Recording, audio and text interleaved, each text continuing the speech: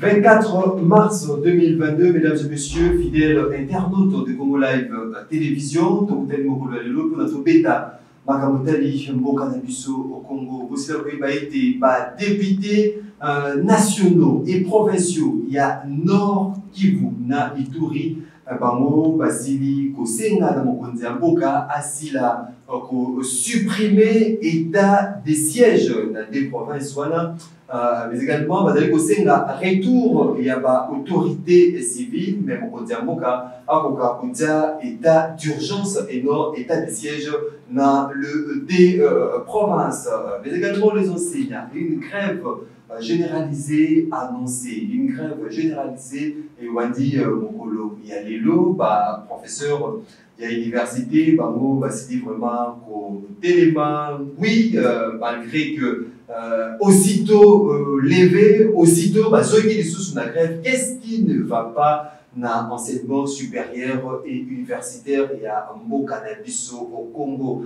Et puis, euh, cette motion en gestation contre le ministre de l'économie, Jean-Marie Kalumba,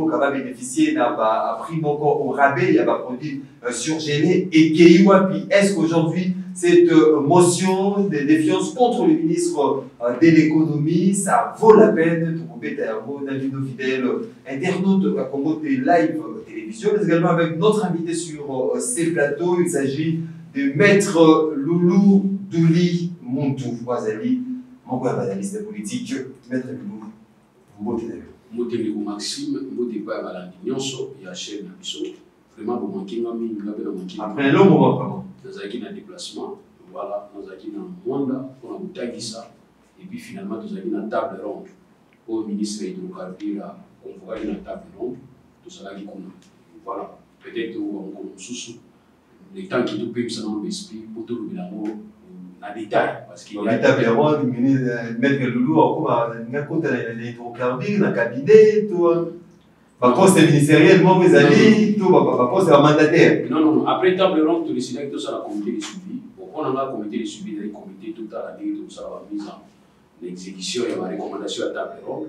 Et c'est dans ce comité de suivi qui combo na ba tiakia. Au départ ba tiakia na combo na ba na comité moi il faut gérer 10 millions aux autres 10 millions.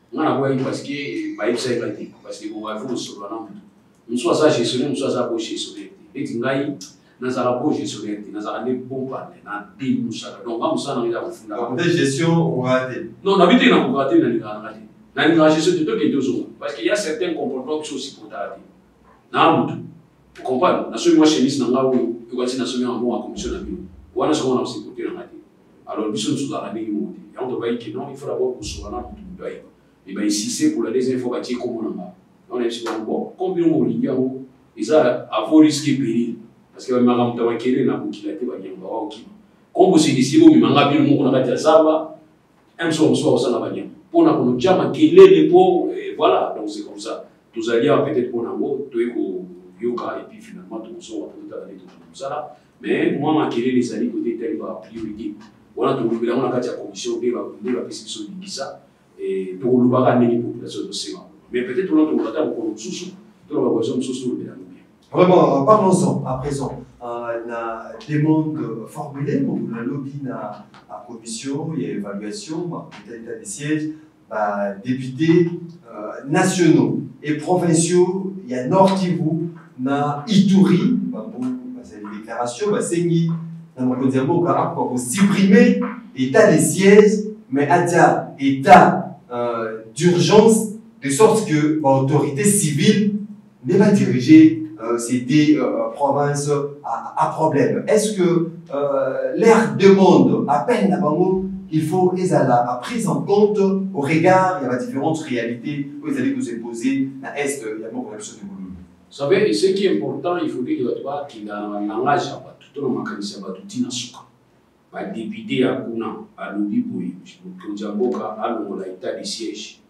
atia yango na etat d'urgence mais mpo na kolakisa mabe ya badepute ya kuna bato balobi kaka ke badepute baosenga balongo na etat de siège basusu wana c'est fini ça c'est de la mauvaise foi alors soki moto asali demande na ye requête na ye abandi na ebandeli kende nango ti na suka peut-être na ebandeli compréhension ekozala te mais na suka nde okocomprendre requête na bango ezali donc balobi ke balongola etat de siège mais batia yango na etat d'urgence okende ti na suka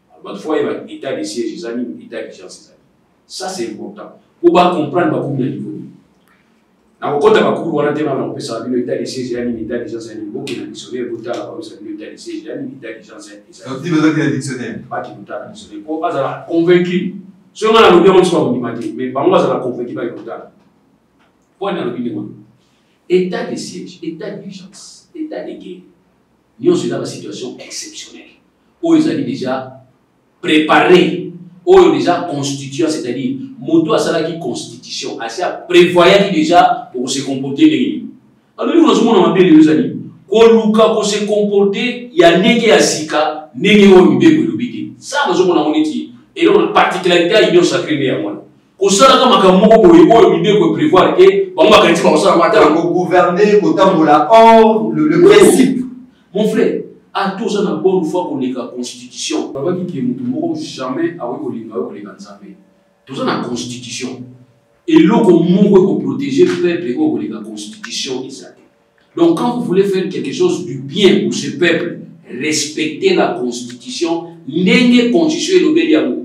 Atako eza na ba faiblesse, atako eza na ba erreur, mais soki constitution esengi qu'il faut ça de la bouiller pour l'intérêt à peuple, il faut ça de la kaka ndenge constitution esengi. C'est ça l'état de droit.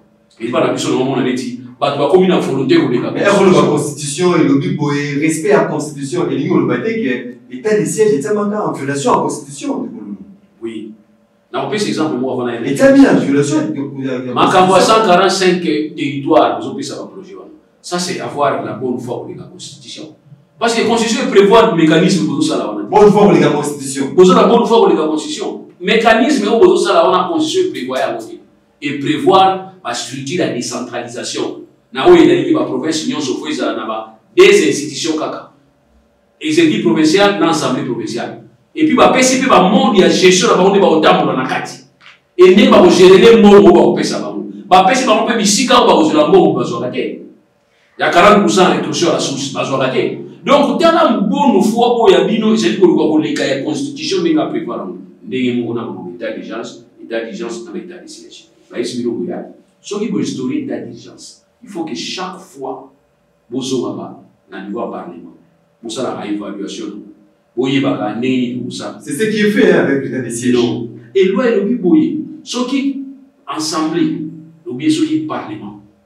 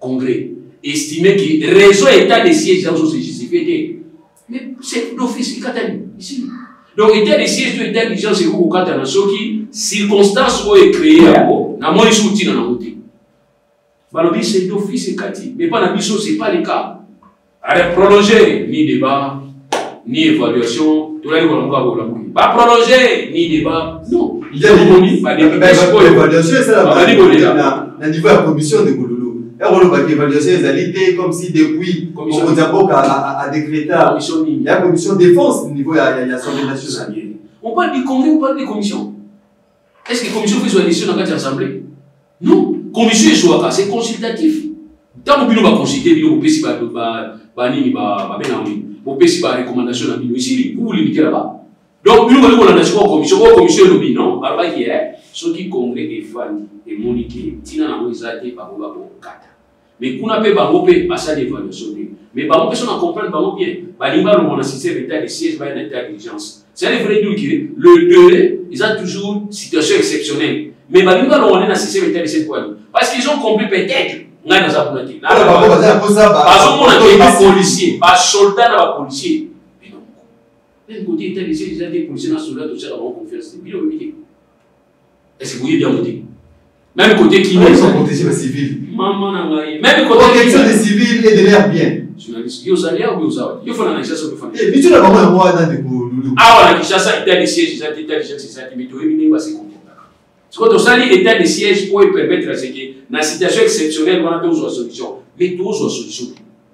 ntango amoni tozwa solution te yango badepute babi ee eh, eh, tosengi epa chef de l'état abongola yango akolongola yango na état desel akomisa yango état d'urgence mpo epermettre toujours dans certain dans ce cadre des mesures exceptionnelles totya miso to yande tokoavancer c'est ce qui est important donc ça dit il veut tout simplement ko remettre les populations sous l'autorité civile mpo epermettre à ce que population a se retrouver à se résoudre puisqu'on ne peut pas créer trouver une solution par un problème on ne peut pas on ne peut trouver solution qui n'a pas formule ou un malade ou peut trouver mais on a besoin de ça on veut trouver une solution par des problèmes toujours créer un autre problème na bokreaka état de siège tokanisaki ekopesa résultat nzoka ecree problème mosusu yango tolobi ke bango ngai ya tona solo na bango te nayebi bango te mais ndenge koyoka bango kaka baa na raison ya kosenga epa chef de l'état mais bino bokosenga chef de l'état te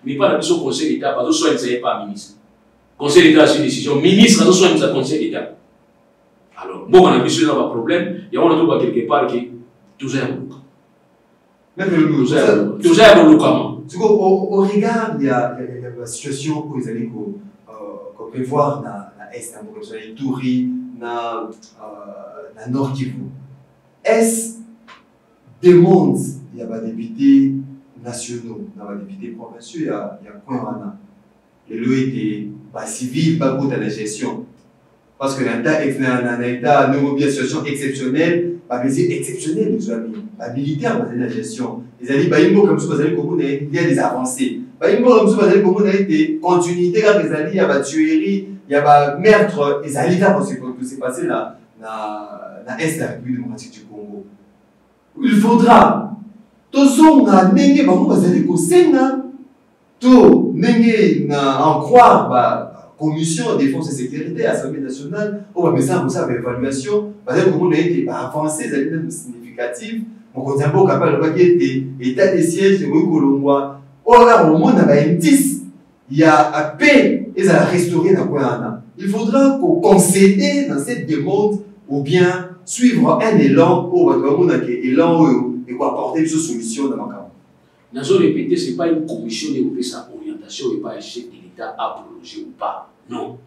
Cette commission ezo travailler na kati assemblée. Tango travailler na assemblée obengwa commission ad hoc. Soki sisi o travailler mais pesi na plénière, plénière se décider. Ça se passe comme ça. Mais pas na biso to renverser makambo. Ekomi ba task force. So ba task, so ba task force. Bima ko travailler en lieu place ya bato baza ba élu oyo baza na mandat ya peuple. Ces députés ne peuvent que refléter posa ya peuple. C'est la moindre chose qu'il faut comprendre. Alors soki ngai naza kozwa décision na kotalaka oyo badepute bazoloba te me natala oyo ngai na taste force na ngai tozo décide oyo ngai nakosala eza nini il faut prouver pa bato l'élément complet na oyo bango bazokanisa c'est par des sondages sur le terrain na baservice na ngai chef d'état aza baservice ebele oyo ekorenseigner oyo bapeuple balingi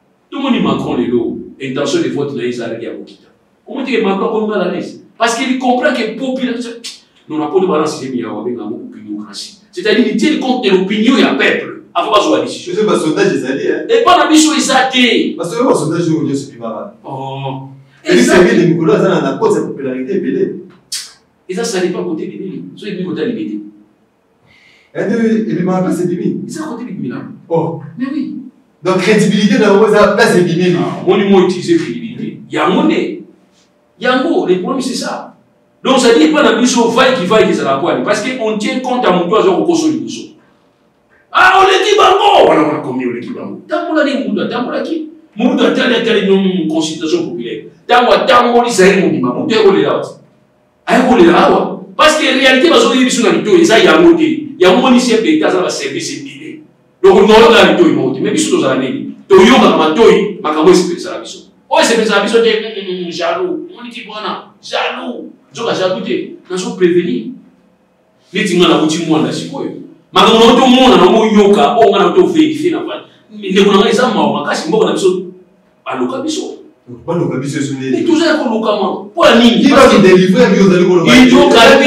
oyo bino bozo néglige na angola hydrocarbi epesaka bango 50 milliard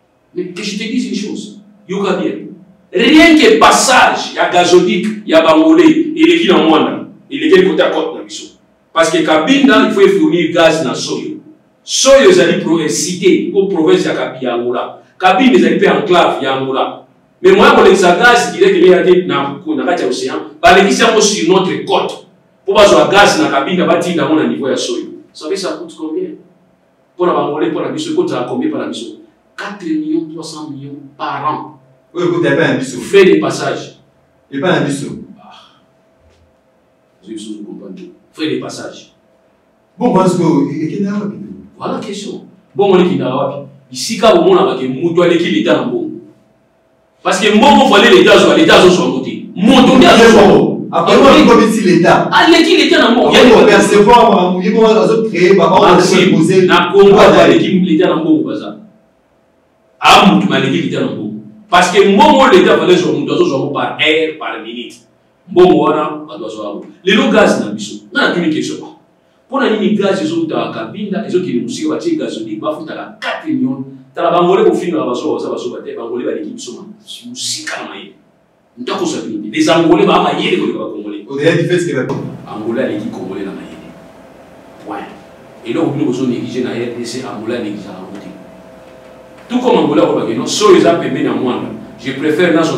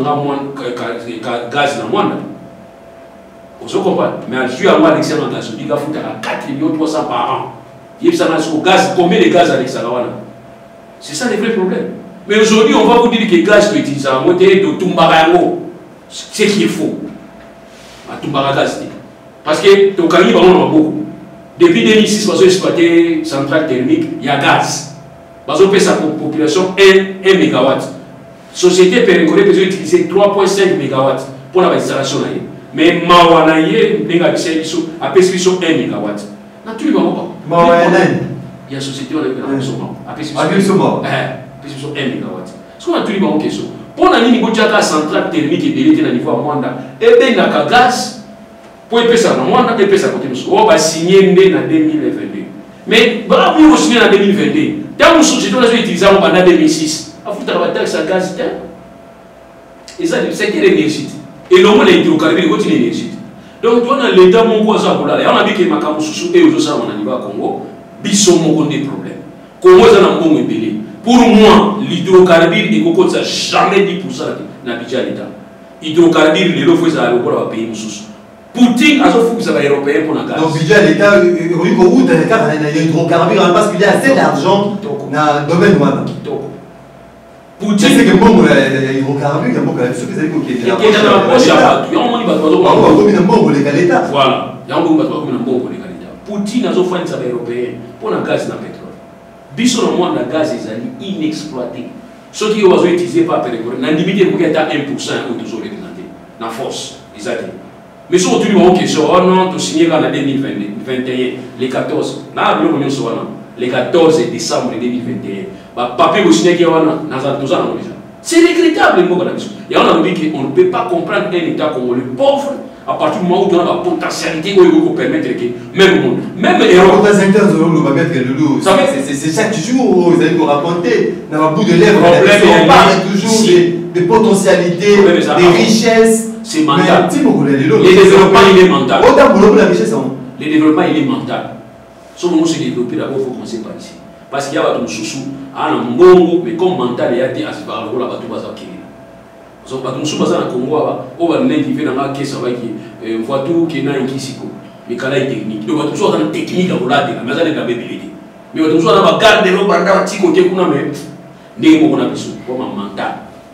Poutine azo fugmisa Europe pona gaz na petrole. Biso biloko wana toza nango. Et aujourd'hui, je vous dis, na biso eza prophétie. Europe eko se retourner na Afrique pour permettre la bosse na bosse na Russie. Parce que Russie azo fugmisa bango. Ya koloba ke même euro, même dollar aza na besoin nango te. Ana besoin ruble na bango. C'est-à-dire soki osomba eloko epai na ye yaka na ruble. Kende mpe kuna, onosomba moko ruble yango eza wapi? Kuna masasi ezobeta ye kote okwela yebani te.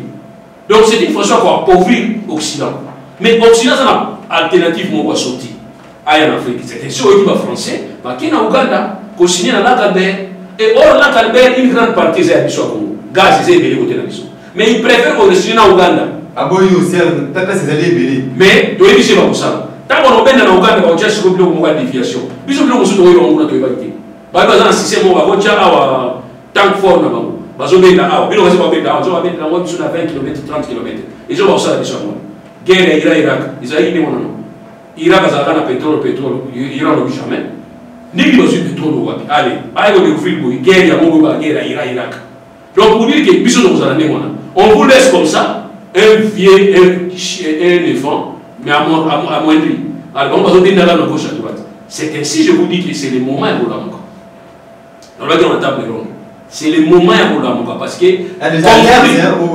conflit oyo ezali koleka na barusse na baoccidentaux occidentaux bakozanga bisika ya ravitaillement seul bisika ekopermettre moi se ravitaille facilement eza na afrique mais ekuta biso mpe ya kolamuka donc yango nabi ke nous avons la les potentialité mais towana koma mental ya te ya kose comporter comme tel tozwi exemple ya secteur ya secteur énergie c'est libéralisé yebisa nga combien des investisseurs baya kotia mpo na secteur ya énergie batia baoyo tobengi société ya distribution na bango eza te batiye biso snel cour ekei ti nango libukata bia mpo oyo ezala toke cour ekei toza soko otravaille na panneau solaire cour ekei alors snel afandi wana elle ne sème pas là où, là où, là où il récolte snel incapable ya kosimba yango tolobi ke nous devons voir de la musique possible comment tokosala mpo ya mene biso tokota na bagestion osilika mosusu wana likambo na komiata makasi ntango na wafanda oyo yanga tosala oyo ayezo kobenga conférence de presse koyebisa pouvoir en place comment loi ya hydrocarbure ezo prévoir ke l'état azala associé ya basociété pétrolière nyonso ngai naza na document ya assemblée générale ya société pétrolière perengoren me namoni kombo ya leta na kati na part te Parce que loi ezo exige son hydro azala associé na ba société pétrolière wana. Donc makambo eza ebela ko. Na na na namoni parenthèse na biso to fongoli vraiment. Eza na motivo. Fongoli eza awa. Donc to zonga. To zonga. To zonga. Voilà la prochainement. Maître Lulu. Na yo personnellement tolongola nanu déclaration ya badepute provinciaux tolongola nanu badepute nationaux ya le d euh, province a problème oyo ezali na état de siège yo mo personnellement ozali kotala parce ozali komona évolution ndenge toza koyokaki baégorge bato bakufi baadef bakoti kodeko bakoti boye babomi est-ce que des avancées significatives oyo ezali kokona ete tokende nanu boye tozela nanu stabilisation vraiment ya situation sécuritaire na bacoin wana mpo ete état de siège ezala lelo mais quand vous dites ça la question ozopose ngai faut otala nokana na kati ya réalisation bamizosana lelo botindaki badélégation soki tasi soki tata mpe nango tasi soki force baza wapi c'est ça mpo na koyeba ekokimi ekoti na este bato na babimisa bango babima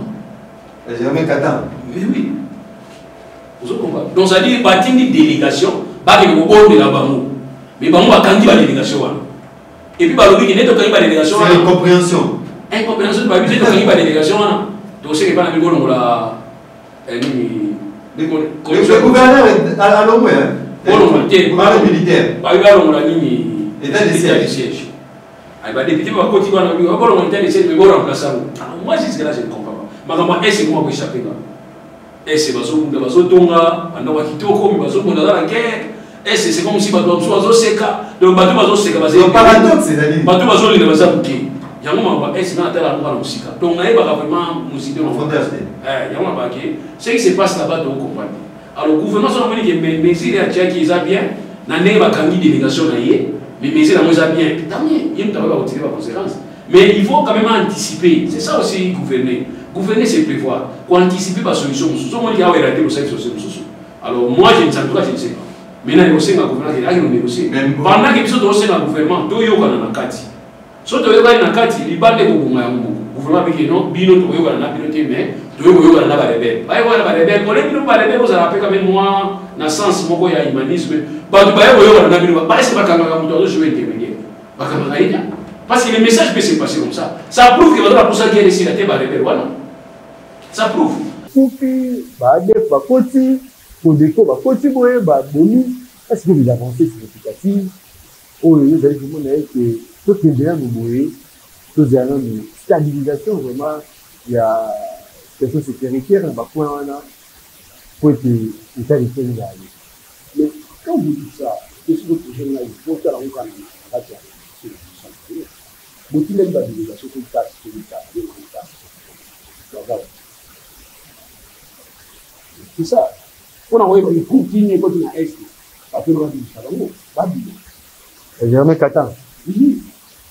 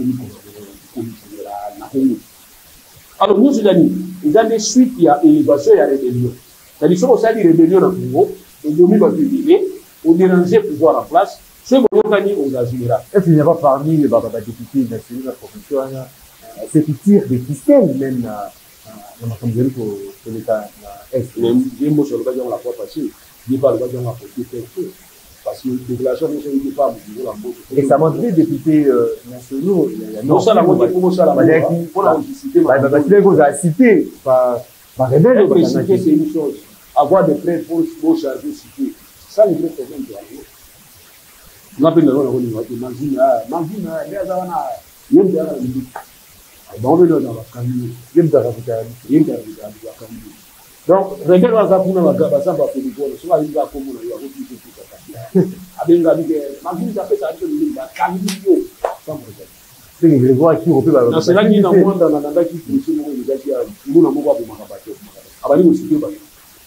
Siko juge afandi atela bis histoire bo condamner ye botika bato mosusu bazosute yango parce que tokokende tokofunga ba projet mosusu oyo tozana ba preuve te. Comment tozwa renseignement epai ya cour il a été condamné donc pour dire que ici ka moto alingi yo te akokotela likambo ye esimbi te oyo nakosi ba likambo naya moto akoki kome okei sans autre forme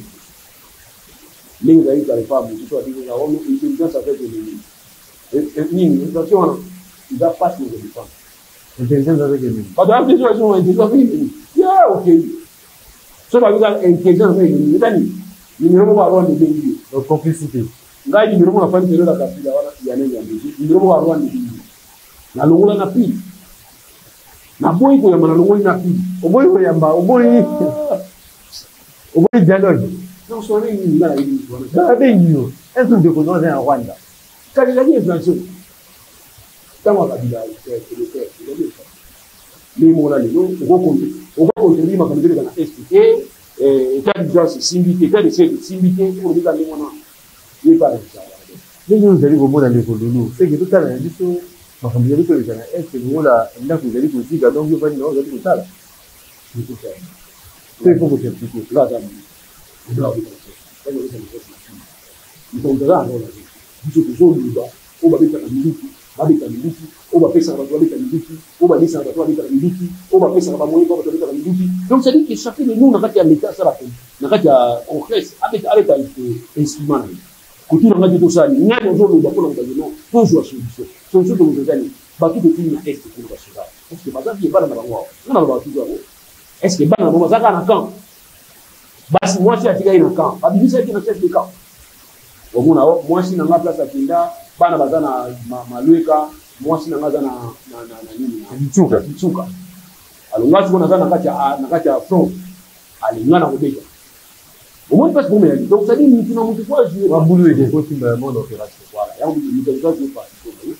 Bo encourager bato baza na camp, bopesa bango minduki, bopesa bango ba moyen mpo likambo wana esila. Nini eloko bundaka na pays ezalaka te. O oh, Rwanda azo soutenir bango, ça c'est une chose. Mais frontière na biso Rwanda ya kotia ya kotia drapeau te. Biso tona kati biso tokoyeba ko sécuriser frontière na biso. Nayebi biso na pesa stratégie ya kosala. Eza simple. Bobimi bobandi à partir ya ya frontière. Bobandi kotia siko sécurité na frontière na biso. Comme ça awa to banyati bango bakokima wapi.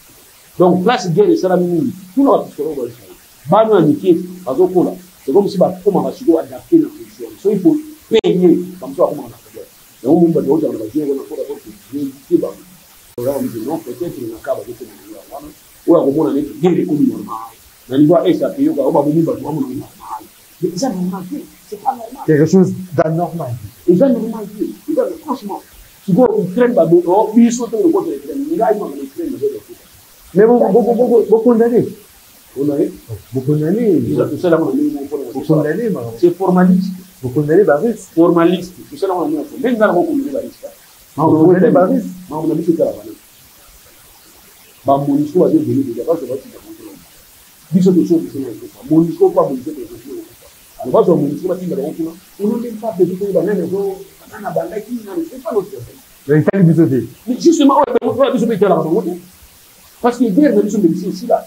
Bayebisi bino ke na niveau ya est bamoni place ya ba ba djihadiste oyo azoboma azotanga nkombo ya nkombo ya nini ya nzambe na ndenge mabe bino bolobi ke bokombataka djihadisme na monde boyoki ndenge na rdc bato na bakomi kuna bofandi tout d'oreille alors bolingi tiko makambo na mbele kotango ndenge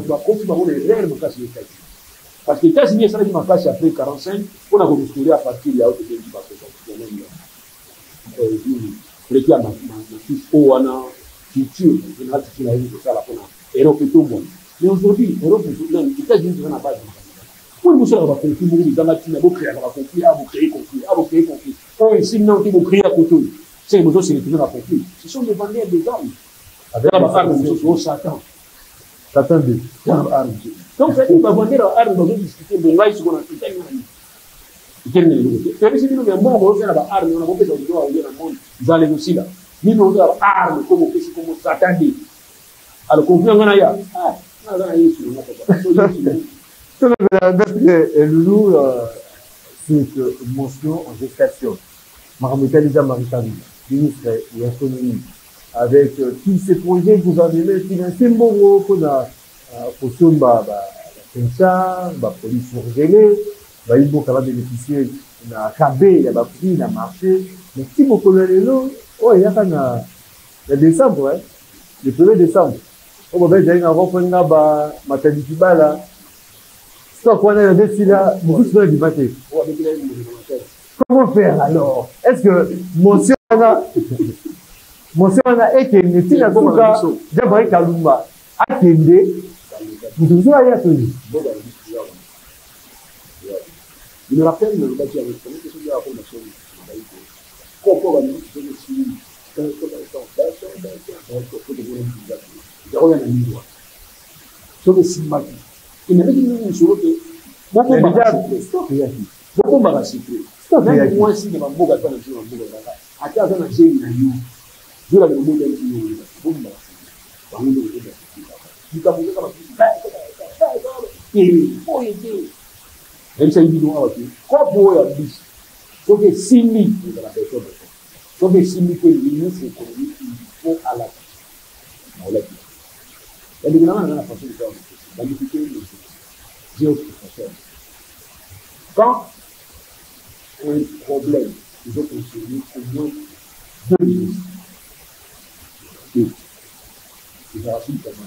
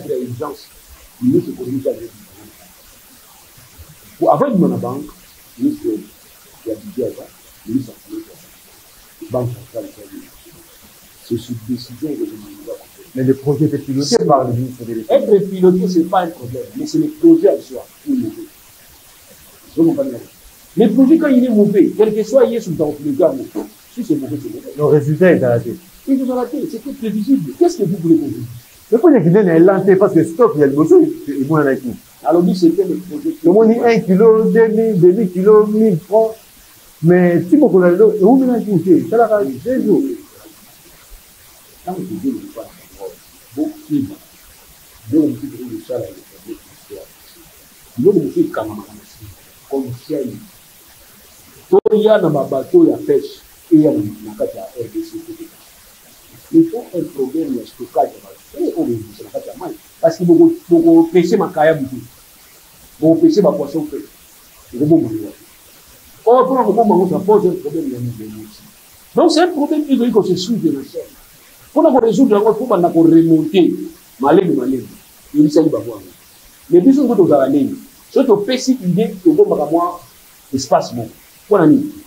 bacomprendre ke bango mpo mikino bazosala mpo bazozwa mbongo mpo na yango tokopesa bino idée te ke kado boye bozwa yango te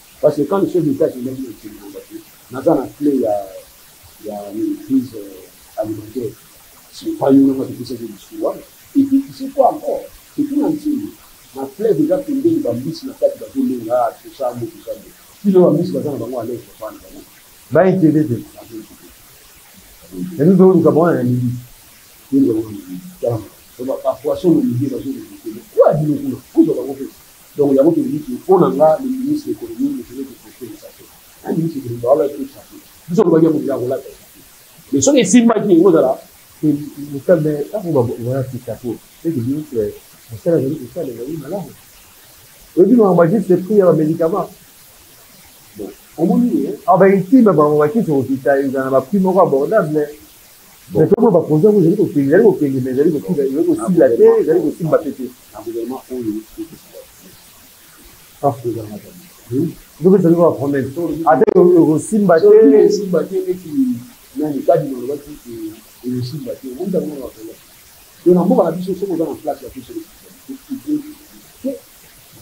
kasi alors nakosekere wana akoyende mosusu oyo ministre te babi autrement oyo nyonso tokatisa malamu